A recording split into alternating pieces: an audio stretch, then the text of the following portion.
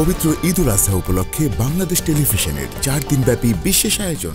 আপনাদের সকলকে জানাচ্ছি পবিত্র ঈদ উল আজহার অনেক অনেক শুভেচ্ছা।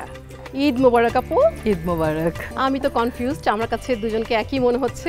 আমার মায়ের হাতের একটা গরুর মাংস রান্না আছে যেটা নাকি আমি আজকে করব। এই রান্নাটা আবার সামহাও আমি যখন করি এটা আবার তাদের পছন্দ।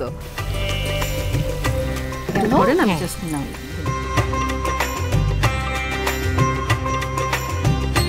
ওয়াও মা এত ভালো গ্রান বের হয়েছে। আমরা তো আর ওয়েট করতে পারছি না। বের হবেই তো ফোড়ন দিয়েছি তো।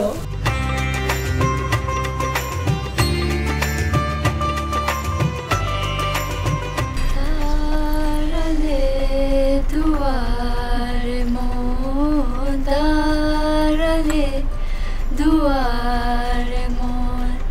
কে তুমি ভিখারিনী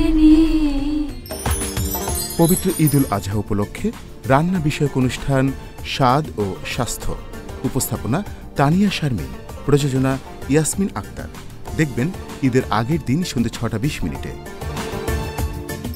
ঈদের এই বর্ণিল আয়োজনে বাংলাদেশ টেলিভিশনের সঙ্গেই থাকুন।